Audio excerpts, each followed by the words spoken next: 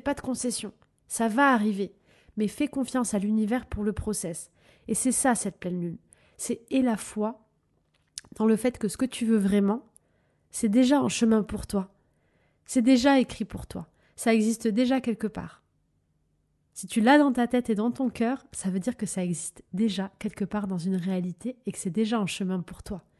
Donc, ne t'adapte pas à autre chose et ne revois pas ton désir à la baisse.